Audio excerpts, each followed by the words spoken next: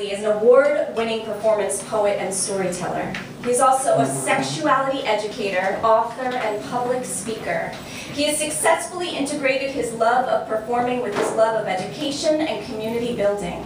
In the fields of sexuality, race, manhood, and arts advocacy, he has over 20 years experience as a stage performer, teaching artist, workshop facilitator, consultant, activist, and mentor to youth. Mo Beasley's presentations range from cutting-edge perspectives on sex, sexuality, to artist action, fatherhood, and family building, hip-hop as a tool for education, to redefining masculinity for the 21st century. Please welcome Mo Beasley.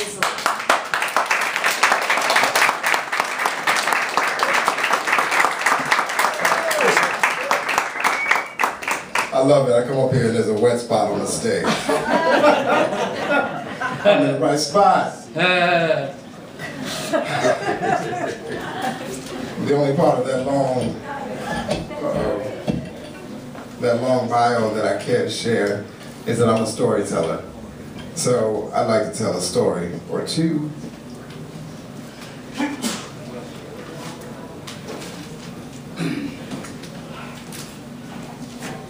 You gotta take the pussy. You got to take the pussy, young blood. That's your problem. You're fucking around asking for it.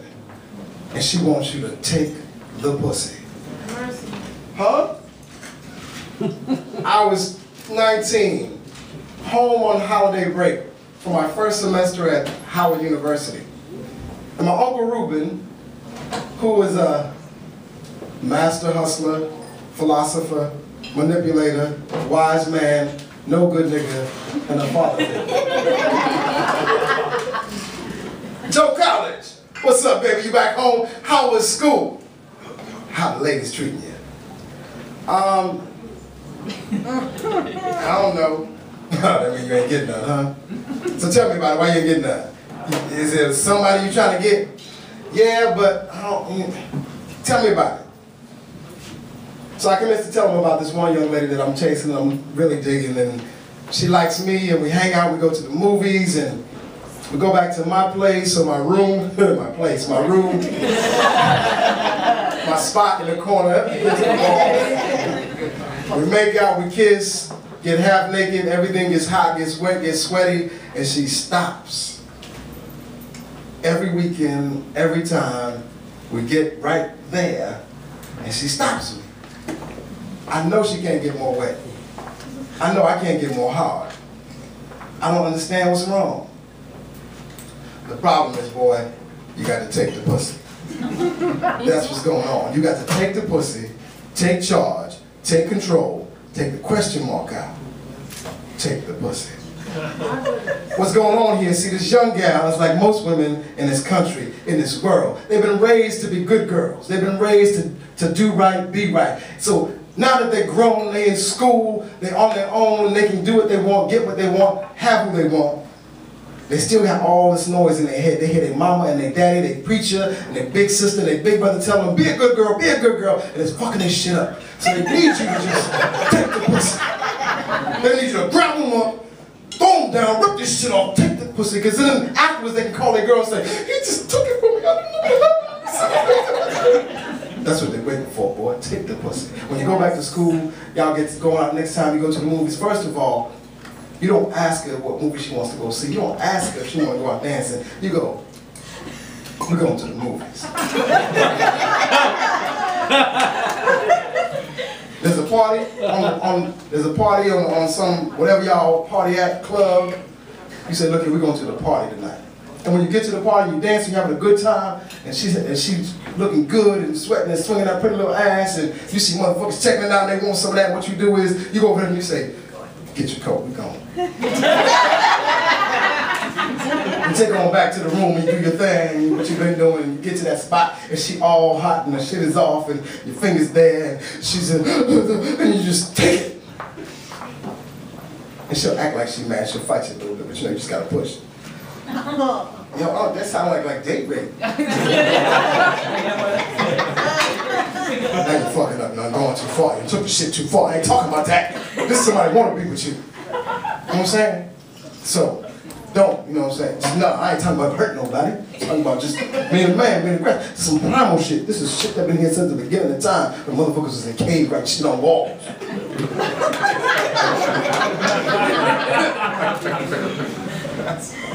so I get back to school, and I try and take the question mark out, take control, take charge, and take the pussy.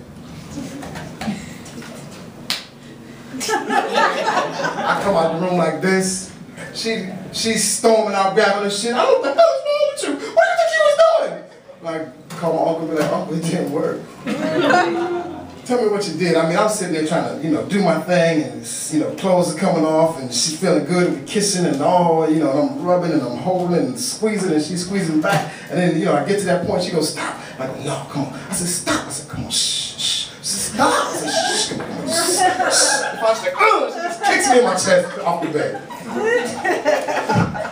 And after that, for the rest of the semester, she ain't talk to me. She see me in the yard, she act like I ain't even there. And I'm just like, I'm sorry, I'm sorry, I'm sorry, I'm sorry, I'm sorry. I'm gonna come over me, I'm sorry. To the end of the semester, we get to, uh, she been online and shit, she crosses over. And we're at this party, and she's there, and she's dancing on the table at the party, and I'm looking up at her, and she got some stretch pants on, and like a tight shirt on, and, and you know, her ass is looking all arrogant, and legs just generously curved, because they done had her storming up steps and shit, and she was tight, and I'm just like, dreads is bouncing all off her shoulders and shit, and swinging and whipping, and I'm just like, God damn. And so she sits down at some point, and she's sweating, she's taking it easy, and I lean over to her and I say, get your coat.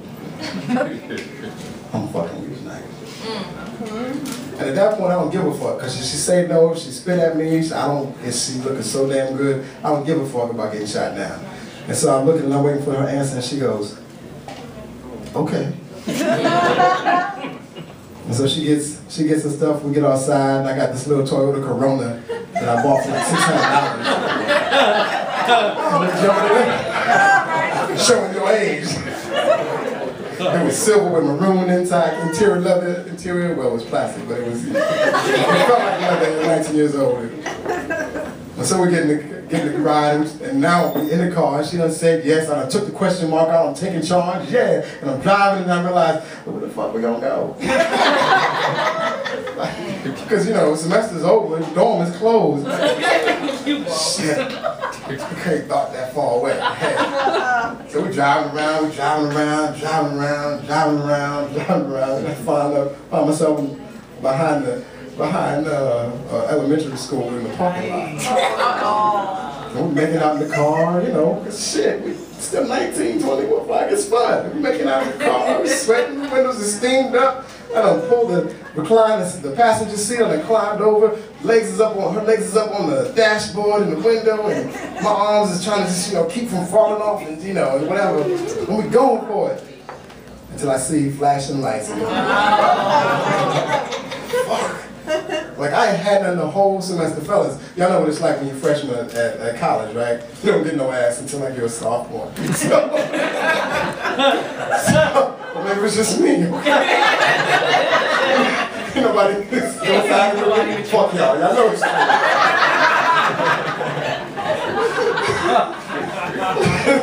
Leave me hanging. I got ass. That's, that's, that's semester freshman, man. Freshman 101. so, I'm in the car, we're in the car, the flat, lights is flashing and shit. I look up, and in the back, look up, and behind the car, there's a police car, two behind the car. I climb back into the driver's seat, and I look forward, and there's about two, three cars in front of the car. So we're surrounded. Cops come in the car, they say, uh, license registration. First he said, so sir, you uh, in the military? nah. So you, uh, what? I said, can't afford a hotel room? I'm like, now you're gonna like, like take me to jail, but don't be sitting there like, you know what? So they go round and round and they ask her some shit and she tries to act like she, you know, she don't speak English or something like, look man, we're gonna take your, if you don't speak up, we're gonna take your ID and find out where you go. We're gonna take you home to your mama's doorstep. So she give it up and all that. So at this point I'm embarrassed. my dick is real limp at this point. You know, I'm, and you know, we, the cops, you know, just look at me like, shame on you, son, go home. We get in the car, I'm driving back to her mama's house. I can't even look at her. I'm so damn embarrassed. And I'm just like, I can't believe this shit. You know, I thought I was finally there. And then we get back to her crib, we're driving, I can't say nothing. We're finally there at the house. I got my hand on the, on the steering wheel and I go, look, I'm really sorry. I was, I don't, you know, I just, I was, you know, thought we was, just, we ever, can you forgive me? She looks at me and says, I had a wonderful time. I can't wait to do it again. so sometimes you just, yeah, somebody clap for me.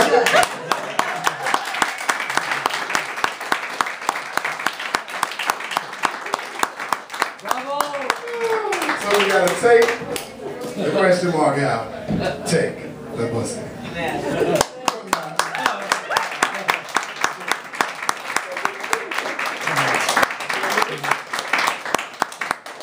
can I do two? A love? Can I do a love piece?